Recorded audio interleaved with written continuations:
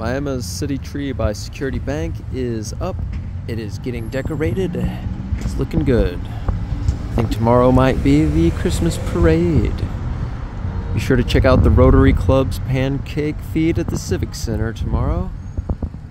And I hope and wish everyone a Merry Christmas.